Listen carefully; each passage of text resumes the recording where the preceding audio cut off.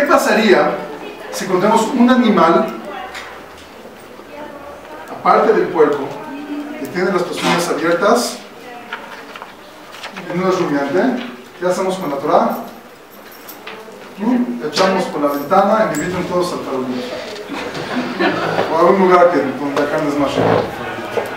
Y decir, no existe ningún otro animal en todo el globo terráqueo, aparte de esos cuatro, que tenga uno y, no tenga la otra. ¿Quién se va a arriesgar a hacer eso? ¿Que acaso Moshe Rabbeinu conocía todas las especies del mundo? ¿Que, acaso Moshe Rabbeinu ya, es- ya había, había estado en, en América, en Estados Unidos, en, en todos los lugares para saber todas las especies?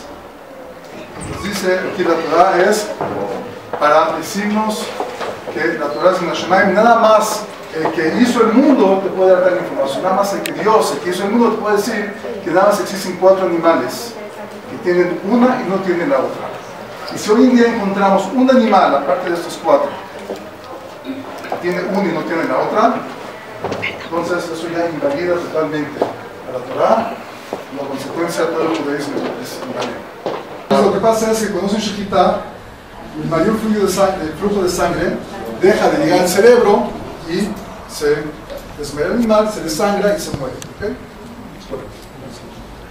Entonces, ¿qué decía Lord Jacobowitz? ¿Cuál era su argumento? No, el animal no sufre, justamente por eso, porque cuando uno hace chiquita, las fuerzas corta la arteria esa que, echa el mayor flujo de sangre, el animal se desmaya, se desangra y se muere. El puerco también tiene la arteria carótida que es justamente hacia el círculo de Willis que llega al cerebro, disculpen, y no es un animal kosher. Entonces, ¿por qué me quieres decir tú, Roger Jacobowitz, que los animales kosher son especiales y no sufren? También los animales que no son kosher no sufren. Un argumento. ¿Sí hay mucha gente en Inglaterra? Sí. ¿Saben por qué? Hay una gran diferencia. Vean qué increíble. En el animal kosher, como dijo aquí el doctor, las arterias que van de arriba se juntan con la que va también de abajo y luego entran al círculo de Willis. En, el- en los animales no kasher no se juntan. Simplemente va de aquí para acá y no se juntan. O sea, que un animal no kasher no necesariamente se desmaya cuando cortan esa arteria.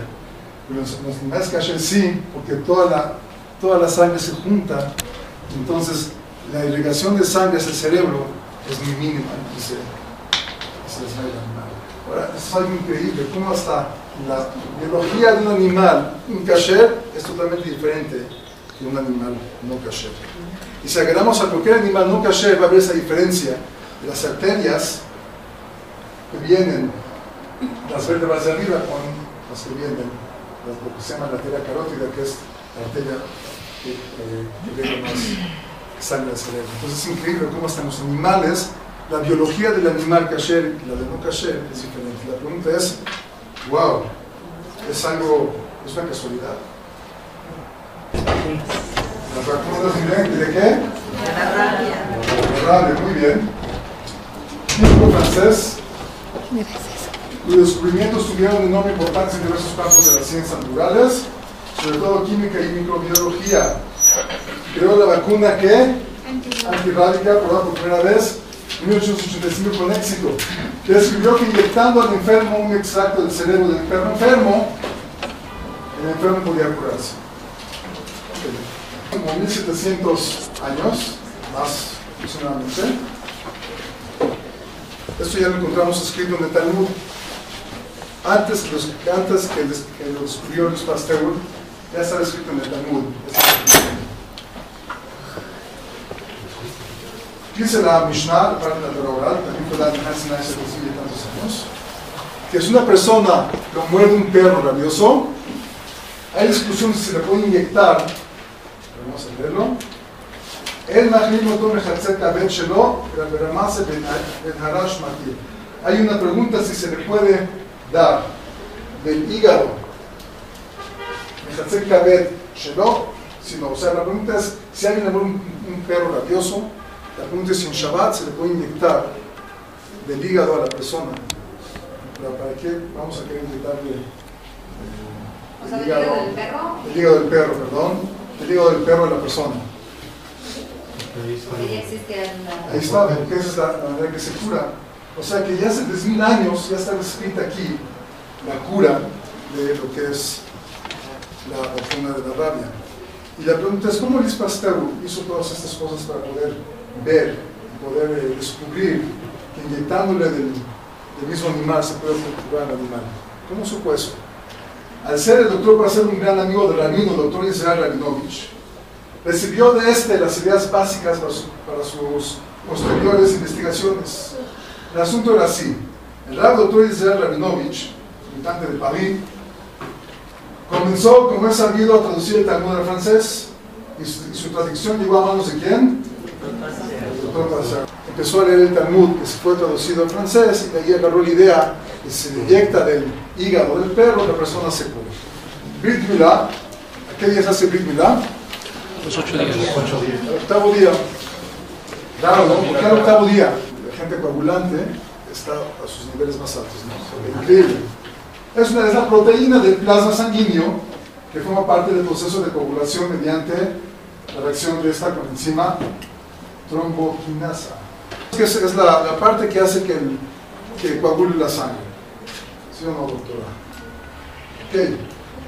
En el contacto de ambas, reaccionan y producen un compuesto proteico llamado trombina. Ya no es biología, pero es interesante.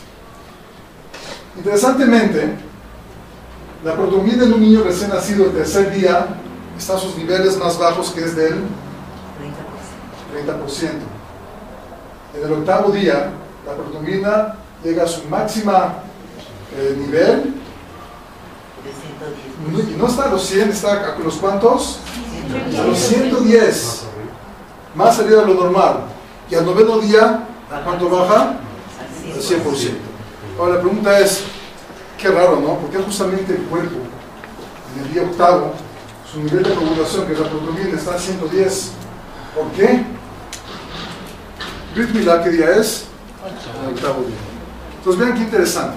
Cuando uno, cuando uno va al súper, ¿qué es lo más importante? Lo que uno compra.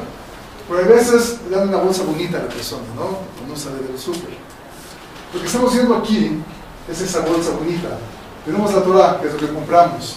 Pero estamos incluyendo aquí cosas increíbles, como que, que la, la sabiduría increíble, que obviamente Moshe Rabbeinu no sabía que cuando dio esta mitzvah, el octavo día, él no podía saber que existe la proteína, no, podía saber nada de esto. La mitzvah fue justamente dando el octavo día y vemos cada vez que, la ciencia nos, nos da luz de la increíble sabiduría que existe en nuestra Torah. La increíble, no la sabiduría, cómo es benéfico para nosotros. Pero la pregunta es, ¿cómo Moshe Rabbeinu podía saber que, cuando el día que se dio la, la mitzvah de Milá, que la protombina, este agente que hace que la sangre coagule, en el día 8 va a estar no al 100%, sino al 110%. ¿Quién podría hacer una cosa así? So, no nada más en la biología de los animales. Los animales no caché, los animales caché son diferentes, pero en, en la misma manera que el ser humano fue creado, vemos también cosas increíbles que, que concuerdan muy bien con los que nos dio Dios. ¿Qué fue lo que descubrió Oscar Herdwig? En 1875, la fertilización y el papel del núcleo celular en la herencia. Observando cómo qué fue lo que descubrió, observó el huevo de un porcoespín, se da que el núcleo de un espermatozoide y el óvulo se funden en uno. Es el primero de la historia de la ciencia que identifica el fenómeno de la fecundación. Nadie sabía cómo se crea un bebito. La idea de la fecundación existía mucho antes del descubrimiento de Hedwig, pero era confusa, pues ni siquiera se supo que eran los espermatozoides hasta los trabajos de Kolliker, Wagner y Lecoq en 1849, que eso era lo que fecundaba el, el óvulo. En consecuencia, aproximadamente un cuarto de siglo antes del descubrimiento de Hedwig, se tuvo por, por primera vez una idea clara de la naturaleza de los espermatozoides, que eran las verdaderas células que fecundaban el óvulo. Ahora, ¿cómo se descubrió esto? Hace mil, ya son hace como 1700 años anteriores, tengo que eh, actualizar la plática. Hay un tratado que es la Torah oral que dice lo siguiente. ¿Cómo se, la Gemara, que quiera saber cosas del mundo, que estudia Gemara. Es lo más completo que hay y lo más padre que hay. Ahí en la Gemara nos dice cómo se queda embarazada una señora Shikvat Zera, Ika de Ame, Shikvat Zera, ¿ok? Con el espermatozoide. Y dice Rashi, ¿a qué se refiere la Gemara con Shikvat Zera? Dice Rashi, comentarista, fue escrito hace 900 años sobre el Talmud, fue escrito hace 2000 años.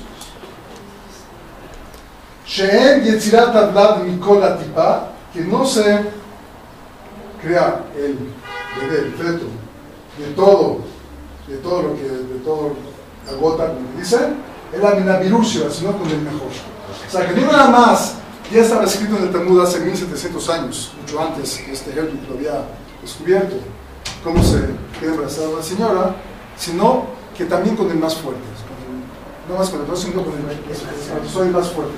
La pregunta es, ¿que acaso Moshe Rabbeinu era científico? Se puso a empezar a, a checar qué, qué es lo que está pasando, creo. Entonces, obviamente, la pregunta es, ¿quién pudo dar tal información a Moshe Rabbeinu? Hace 2200, eso son como 55 años aproximadamente, en Grecia, Eratóstenes, ¿quién era ese? Un griego. filósofo griego. Ya había comentado que la Tierra era esférica, así como una estimación de, sus- circunferencia, 3.14, pero no sabía exactamente cuánto. Pero Lucrecio se opuso porque consideraba absurdo pensar que podían existir tierras en la otra del globo. Sin embargo, Plinio consideraba la forma esférica de la Tierra y así seguían las disputas de cómo era posible mantener el océano formado en una curva. No sabían cómo si es, si el globo es, si la Tierra es redonda, pues cómo el agua no se cae. No sabían tan mucho. La iglesia en la antigüedad no podía entender que hubieran habitantes en, los, en las antípodas. Antípodas son los. Pueblos. Les pareció una locura. San Agustín de, de Hipona, ya en el siglo XV, con la circunnavegación de las Américas de Fernando de Magallanes y de García de Colón, portaban pruebas experimentales necesarias acerca de la forma global de la Tierra en octubre de 1492. Tenemos los profetas hace 2000 años, tenemos la Torah oral, que dicen explícitamente que la Tierra es redonda. Vamos a leer un- unos cuantos ejemplos. Esto es una Torah, oral que fue hace 3000 años. Kadur, se te ofrece Tatzmut, Tajat Pueblo Olam, Kulo que Kadur. La esfera que está Tajat Pueblo Olam, Kulo que Kadur, es como un, ¿qué? Kadur. Es una, una pelota. ¿ok? Em, Lo está tal cual. en, arameo. Ama la biosí, Tanina, así estudiamos, y Malejón de nuestros eh, maestros de Metifta de la escuela, de alma que galgal hu, de alma de, de galgal hu que kadura da. Que el mundo es como esta pelota. O sea, una pelota, les dijo, ¿saben qué, chavos? Este mundo es. ¿Eh? ¿En dónde dice? Eso es en el Zohar, en el libro de la Kabbalah, el Zohar nos dice que el mundo, que el, rabino en su clase agarró una pelota y les dijo, ¿saben qué chavos? El mundo es, ven esta pelota, así, redonda, para que no haya ninguna, ninguna discusión. Y así dice Ramba Maimónides hace 800 años, dice, que como hay gente terca que se intercó contra contra la- con, esta, con esta que la- teoría que la Tierra es redonda. Y yo la Gul, que yo sé que en la vía de Jesús Finanza. O sea que dice el Rambam, no hay que, eh, no hay que ver a las personas que, que- no dicen, no hay, que, no hay que tomarlas en cuenta aquellas personas que son tercas en pensar que el mundo no es redondo. Eh, También aquí hay otra cosa electoral, que Kadu Shaulam que el mundo es redondo, como dice Yerushalmi en otro lugar de la Torah, o sea, que ya sabíamos hace 3.000 años que el mundo era redondo. Ahora, ¿cómo se descubrió que el mundo era redondo? Aparte de que Colón, que no se cayó, cuando llegó al final del mundo no se cayó al otro lado. ¿Cómo se descubrió? Hay un telescopio que se llama Hubble, no sé si dicen que fue lanzado por la NASA hace unos cuantos años. Ahí vieron que verdaderamente, o cuando subieron a la Luna, vieron que el mundo era redondo. La pregunta era, ¿cómo podía saber Moshe Rabbeinu que el mundo era redondo hace 3.000 años? ¿Quién le dijo una información a Moshe Rabbeinu que el mundo era redondo? Dice Zohar Kadosh, el mundo gira. ¿Hace cuánto se, se descubrió que el mundo gira? Cuando Galileo precisamente. ¿Hace cuántos años aprox? En 1600. 1600, ¿verdad? Antes no sabían que el mundo giraba, ¿verdad? No sabían. Dice el hace casi 2000 años. Dice, el mundo gira y a su vez tiene forma esférica. Sobre él, sus habitantes están de pie y cabeza abajo. O sea, pie, cabeza abajo. O sea, hay gente en el polo norte y en el polo sur. ¿Cómo podía saber el Zohar que existen personas, primero que polo sur, polo norte, y no más polo sur, polo norte, que se ven diferentes? Tienen, tienen apariencias distintas, color de piel, rasgos faciales. Como que, give me a break, como que no es muy real, ¿no? Zohar nos puede decir unas cosas así. Imagínense hoy en día, hoy sí sabemos esto que es verdad. Y lo leemos y vemos que no es verdad. ¿Qué hacemos con la Torah? Más que eso. ¿Y ¿Saben qué determina la diferencia de apariencia? Imagínense, también se el Zohar. Y eso que no fue a todos los lugares. Y además alumbra una parte mientras en la otra, en la otra permanece en la oscuridad. ¡Wow! O sea que el Zohar además nos dice hace como mil y tantos años, casi dos mil, que cuando en un lado el sol alumbra, en el otro lado está oscuro. Hay lugares iluminados siempre y que no se encontrará en ellos noche, sino en periodos cortos, los polos. Porque así está escrito. Ahora, ¿cómo sería el Zohar esto? ¿Cómo sería el Zohar? Por eso Yochai. ¿Cómo se dónde sacó esto el Zohar? Escrito por Yochai. ¿Saben por qué? Porque así está escrito. Muy simple. Porque así está escrito en, los salmos. Te agradezco por las luminarias y sus- son sorprendentes tus obras y ese secreto está, está transmitido por la sabiduría de la Torah. O sea, que la única manera que Zohar sabía todo esto era pues simplemente las escrituras, porque así está escrito. Y la pregunta es, ¿quién pudo dar información hace 3.000 años? ¿Cómo podía saber Moshe Rabbeinu? No nada más que existen los pueblos, no más que el mundo es redondo, sino que, se ven diferentes las gentes y también hay cambios climáticos diferentes y que existe un lugar que nada más hay muy poquita luz, la mayoría de noche. ¿Cómo podía el Zohar? Porque así está escrito. Qué buena respuesta, ¿no? La pregunta es ahora, ¿cuántas estrellas tenemos en el, en el, en el, en Milky Way, en el, vía, la vía láctea? Dice que ese reflejo blanco es un río de leche, por eso se llama la vía láctea. Los antiguos romanos la llamaban la vía galáctica o camino hecho de leche. Es por eso que nuestra galaxia fue conocida como. Vía Láctea. Ok, entonces nos dice, hay una Gemara muy interesante que Moshe Rabbeinu está- tiene un diálogo con Dios. Le dice Moshe a Dios, a lo mejor Dios te, te- te olvidaste de nosotros. Le dice Dios, yo no me olvidé de ustedes, porque la manera que dice el mundo es que las estrellas, yo hice unidades de 30 por 30 por 30 de, cada, diferentes galaxias. Otro, otro dato muy interesante es que la Vía Láctea está a su vez ligada a un pequeño grupo de alrededor de 30 galaxias llamado grupo local. Entonces lo pueden checar en, en internet, con mucho gusto. Entonces, ¿cuántas estrellas existen en la Vía Láctea? ¿No? Todo esto. Una a la 10 a la 8, un trillón. Ni siquiera británico. ¿ok? Pueden checar. Pero interesantemente que en, estas, en ese trillón de estrellas existen un grupo local que se llama, que está subdividido en cada 30 galaxias. 30 galaxias. Hace como 1790 años en Rox, aquí está la, la que estaba diciendo antes.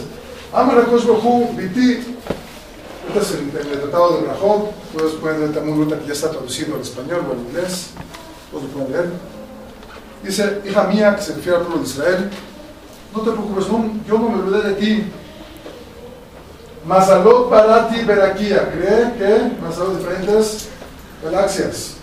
Yaakov Mazal Mazal Barati Losh Loshim Hayim. Por cada galaxia cree un grupo local que se llama 30 Hayim. Y por cada Hayim crea otros 30 Ligión. Y por cada Ligión crea otros 30 Ratón. Y por cada Ratón crea otros 30, etcétera, etcétera, etcétera, etcétera, etcétera. De todos de 30, 30, 30, 30, 30, 30.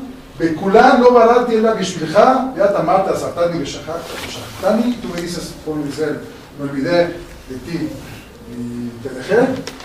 O sea, que la galaxia que dice que Dios creó la galaxia con 30 Lajatón, 30 Lijatón, 30 Cartón, 30 Gisterá, etc. Dice, Tanitigo Shalosh Miot Beshishim Hamishal Pere Abel Y yo puse también en, las, en, el, en el cielo Shalosh Miot Beshishim Hamishal. 300, Shalosh Miot Beshishim, 65 mil millones de estrellas, o sea, tener y de jamás, y tú, y todo así dice para ti, para que no pienses que me, que me olvidé de ti, dice Dios al pueblo de Israel. Vamos a la cuenta, si quieren hagan, bien la cuenta, esos 75 más 30 más 30 más 30 más 30, etcétera, un trillón. Justamente lo que qué, o sea, en la Gemara ya está escrito el número de estrellas que hay en la Tierra Láctea. Si hagan, hagan la cuenta, la Gemara, es una Gemara, hagan, hagan, hagan la cuenta, 365 mil más 30 más 30 más 30 más 30 más 30 más 30, sale justamente un trillón. La pregunta es, ¿En qué lugar está, perdón? Brajot, ¿cómo podía saber Moshe Rabbeinu cuántas estrellas tenemos? ¿Saben cómo sabemos hoy cuántas estrellas tenemos? Con el telescopio Hubble también. La única manera de saber cuántas estrellas tenemos. La pregunta es, ¿cómo podía saber Moshe Rabbeinu hace 3.000 años cuántas estrellas tenemos? ¿Cuánto le toma a cada persona, una persona contar cada estrella? Para contar todas las estrellas? 3.000 años. Ya Moshe Rabbeinu vivió 120 años. Ok, ¿cuánto dura el mes lunar? Después de años de, ya con esto acabamos, después de años de investigación y basados en cálculos hechos por satélites teles- telescópicos y computadoras, los científicos de la NASA determinaron la duración de un mes sinódico, así se llama el mes lunar, y ese resultó ser, ¿cuánto? 29 29.530588. ¿Ok? Muy bien, la NASA. Ustedes saben que antes nosotros, eh, los Jodesh, venían a decir, ¿cuánto es los Jodesh? Con ese mes nuevo, venían a decir que vieron la luz, que vieron la luna, y hacían unas, pre- unas preguntas a los testigos de la luna y, y determinaban cuando eran los Jodesh, cuando no eran los Jodesh. Pero un día de esos estaba todo nublado, era México, estaba todo nublado y no veían la luna. Entonces, ¿qué hacen? ¿No hay los Jodesh? ¿Qué hacen? No se puede ver la luna, ¿qué hacen? Mm, están volando. 1830 años antes, Back to the Future, estaba Rabbi Gamliel, vino el hijo de Rabbi Gamliel, y su hijo le preguntó a él, ¿qué hacemos? No, hay luz para hacer los jodes. Dijo Rabbi Gamliel, "Ah, no te preocupes. No, problem, ¿no? Dijo Rabbi Gamliel, tengo de autoridad del padre de mi padre, o sea, de generación en generación, la renovación del mes tiene lugar después de no menos de 29.5, dos tercios de hora y 73 partes de hora. ¿Ok? Para hacerla ya más fácil, en realidad sale lo siguiente. Dos tercios de hora, que es lo que estaba diciendo, Son 40 es igual a 720 partes de una hora. Una hora equivale a cuántas partes? A 1080 partes. Si quieren, se los paso, hacen las matemáticas, con calma. ¿ok? Lo que salió fue lo siguiente. Vamos a dividir todo lo que la bien, a ver cuánto dura el mes lunar. Justamente sale La NASA, ¿cuánto? 29.059 días es lo que tarda la Luna en volver a o sea, ciclo lunar. ¿Cuánto según la NASA? 29.530 588, se equivocó la NASA. Dice, tienes que saber que si crees que tienes algo valioso, más bien no sabes cómo sacarle el valor, estarás siempre preocupado de aprender cómo sacarlo. Si tienes un carbón que sabe que lo, que lo puedes hacer brillante, vas a estar siempre preocupado de cómo hacerlo brillante. Pero si lo que tienes en tus manos no sabes lo que es, no, lo- no entiendes la grandeza y lo valioso que es, lo vas a dejar ahí tirado, sin tratar de sacarle de hacer un diamante. Es igual con la Torah, dice Nachmanides. Si crees que no, que no nada más hay en ella entendimiento simple, sino tenemos caminos extraordinarios y grandeza increíble, siempre estarás corriendo hacia ella, preocupándote de lo que no conseguiste y alegre de lo que sí conseguiste. Y así, dijo Dios, no es algo vacía para ustedes, o sea, la Torah no es vacía, sino que tiene un alma que Dios le puso, que yo, le metí, dice Dios. Y es lo principal. Si me encuentras vacía, no es sino que es una, no es sino que es una de ustedes. Dice Nachmanides, tenemos la Torah. Es imposible que a Moshe Rabbeinu le hayan, le hayan dado tanta información. Desde empezar desde los animales, que no existen, nada más existen cuatro animales que tienen una de las señales de los animales no kasher, o rumiante, o con la persona abierta, siguiendo con los peces, siguiendo con la biología de los animales, siguiendo con la, la manera que funciona el cuerpo, la protombina, etcétera, etcétera, etcétera. No hay manera que Moshe Rabbeinu pudiera saber cuántas estrellas hay, no hay manera que Moshe no pudiera saber cuánto dura un mes lunar. Es imposible que Moshe no sabía todo esto. Si no, por una razón, obviamente, porque Dios que hizo este mundo fue Dios que le dijo Moshe toda esa información.